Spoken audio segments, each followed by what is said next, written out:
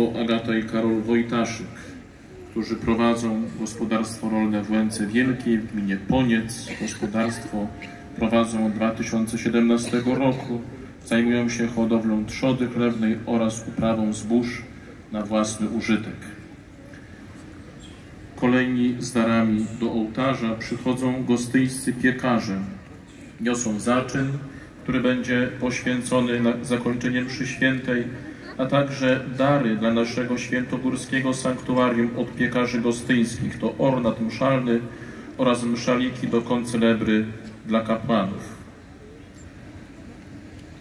Do ołtarza także z darami przybywa nasz brat Franciszek Kiklica, który opiekuje się klasztorną pasieką i przynosi miód z klasztornej pasieki. Nasza młodzież z duszpasterstwa Strych przy naszym klasztorze działająca przynosi ziarno oraz kwiaty i zioła, które także będą poświęcone przez księdza biskupa na zakończenie tej Eucharystii.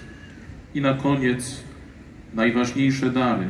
Chleb, woda i wino. Niosą siostry służebniczki, matka generalna sióstr wielkopolskich Kornelia Silna wraz z siostrą przełożoną z Podrzecza jako dziękczynienie za 25 lat od beatyfikacji błogosławionego ojca Edmunda.